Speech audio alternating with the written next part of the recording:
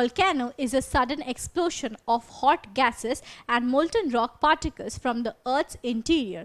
Now in this video we can see that volcanic eruptions can be of several types like in some cases lava can come out through a single opening while in other cases lava can also come out through multiple cracks.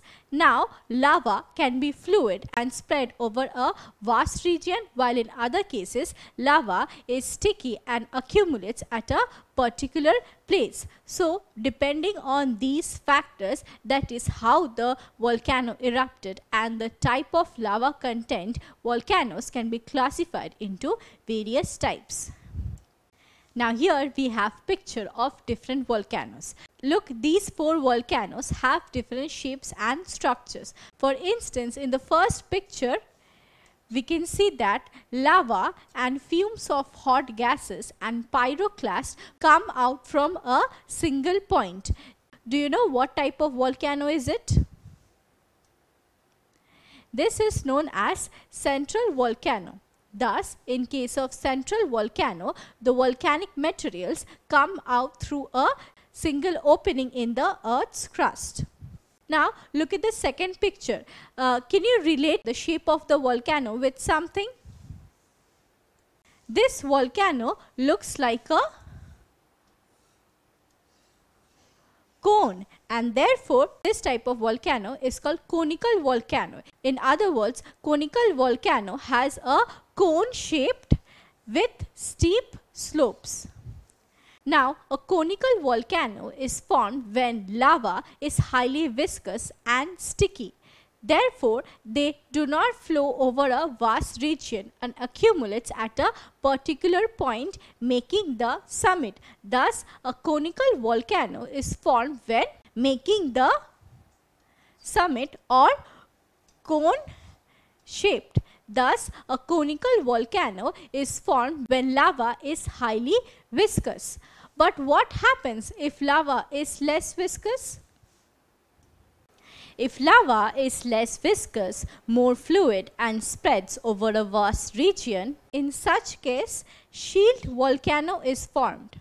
Now here we have the picture of a shield volcano. Now a shield volcano has a dome shape and gentle slopes. This is because a shield volcano is formed by a lava which is more fluid and they spread over a vast region thereby forming gentle slopes and dome shape. And this type of volcano is called shield volcano. Now look at the fourth picture. In this picture we can see that lava and volcanic materials come out through two openings. Do you know what type of volcano is it? This type of volcano is called fissure volcano. Thus, in case of fissure volcano, volcanic lava and volcanic materials comes out not through one but through multiple openings.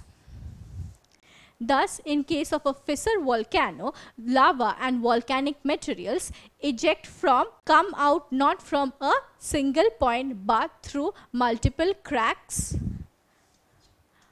or fissure. And also in case of fissure volcano, the eruptions occur at regular time intervals. And therefore in case of fissure volcano, sheets of lava is formed in steps because eruptions occur at different intervals. So these are the various types of volcanoes based on how the volcano erupted. The first one is central volcano. In case of central volcano, lava comes out through a single opening. In case of conical volcano, lava is viscous and forms a cone shape. Now, if lava is less viscous and more fluid, then it forms a shield volcano. Eruptions occur at intervals and volcanic materials comes out through multiple cracks or fissure, then it is known as fissure volcano. Now before we proceed, can you help me to answer this? Identify the type of volcano in which eruptions occur at regular intervals. Is it central volcano, conical volcano, shield volcano or fissure volcano?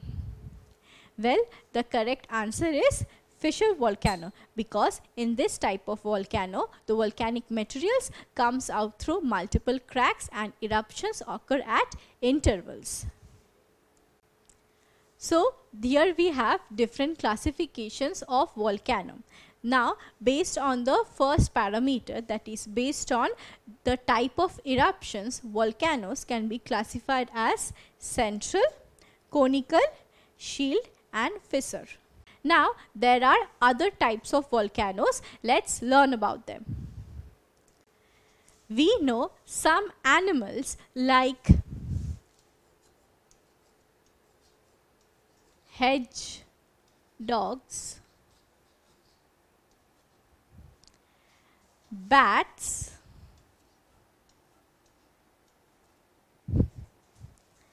snakes,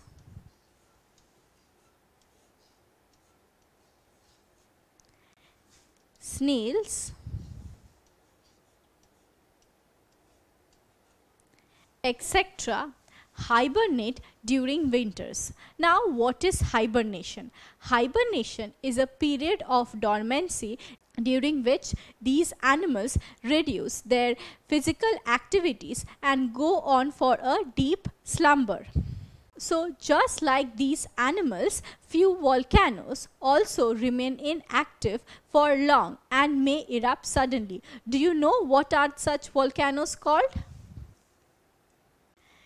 Such volcanoes are called dormant volcanoes. Thus, dormant volcanoes are the volcanoes that remain inactive for long and but have the possibility of future eruption.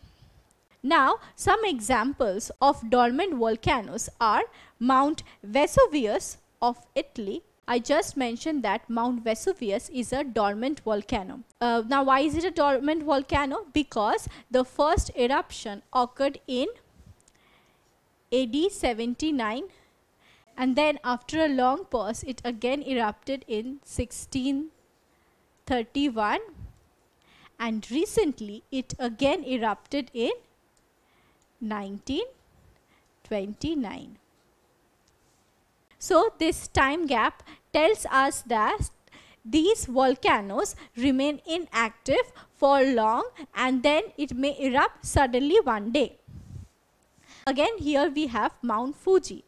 Now Mount Fuji remained inactive for long and suddenly in the year 1707 it erupted and it has been dormant since then. Thus dormant volcano is one that remains inactive for long but has possibility of future eruption.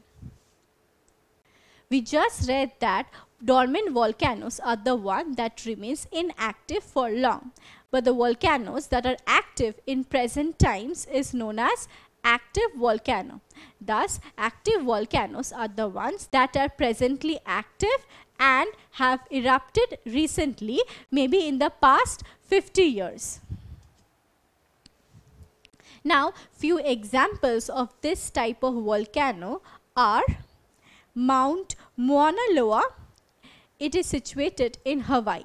This volcano, this volcano is considered one of the biggest active volcano in the world. It has erupted in the year 1984. Another example of active volcano is Mount Stromboli. It is situated in the mid of Mediterranean Sea. Now this volcano is very active and erupts frequently and when it erupts its summit glow and due to this reason this volcano is also known as lighthouse of the Mediterranean. I have discussed about dinosaurs. Now dinosaurs is an extinct animal that is they are no longer alive. Now the volcanoes that have never erupted are known as extinct volcanoes. That is they are dead and have never erupted.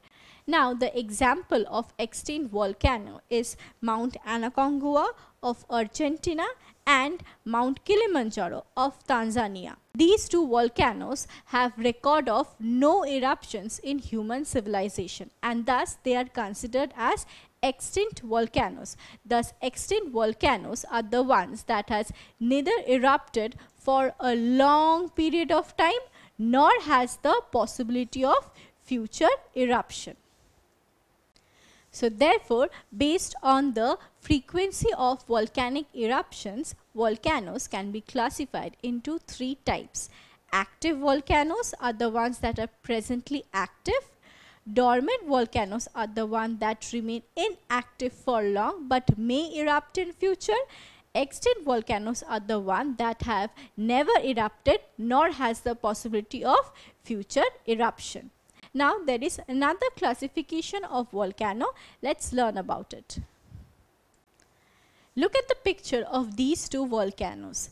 The first picture is of Mount Pelee which is situated in West Indies and the second picture is of Kilauea which is situated in Hawaii. Now if you carefully look at these two pictures, you will find that these two volcanoes have different shapes. The first one has a conical structure that is a high summit and steep slopes. While the second one is dome shaped with gentle slopes. Now, why the structures or shapes of these two volcanoes vary? This is because of the differences in the composition of lava. That is, in the first case, that is in case of Mount Pelee, the lava is acidic in nature and therefore it is an example of acid lava dome. While in second case, the lava is basic in nature and therefore this volcano is an example of basic lava shield. So now let us differentiate between acid lava dome and basic lava shield. The first point of difference between these two volcanoes is that in case of acid lava dome, the lava is acidic, more viscous and less fluid. That is the lava is sticky in nature and does not flow much and therefore due to this reason it forms a conical structure as it accumulates in a particular place. Conversely, in case of basic lava shield, the lava is basic in nature, less viscous and more fluid. And since the lava is more fluid, it flows over a vast region creating dome shape. Thus, in case of basic lava shield, lava is less viscous, more fluid and therefore it flows over a vast region creating broader peaks. Now, the second point of difference between these two volcanoes is that in case of acid lava dome, the volcano is dome shaped with steep slopes and has higher elevation. In this picture, we can see that it has a sharp peak, steep slopes and it has higher elevation because in this case lava is more viscous that is sticky and therefore it accumulates in a particular place creating this shape. On the contrary, basic lava shield has broader peak, gentle slopes and lower elevation and greater extent. That is they spread over a vast region. And why is that so?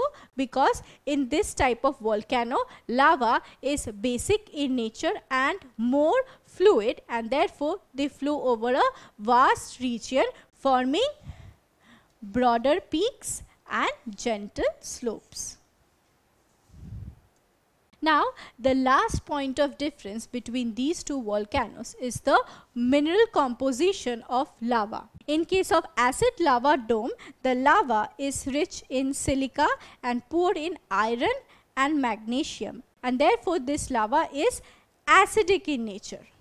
And while in case of basic lava shield, the lava is poor in silica and rich in iron and magnesium that is this lava is basic in nature and therefore it is called basic lava shield. Thus, these are the differences between acid lava dome and basic lava shield. In case of acid lava dome, lava is acidic in nature, sticky and therefore forms high peak with steep slopes whereas in case of basic lava shield the lava is basic in nature more fluid and therefore forms broader peak with gentle slopes.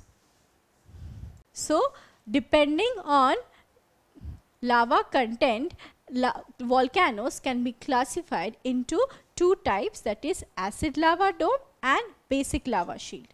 So here we have the summary chart on classification of volcanoes.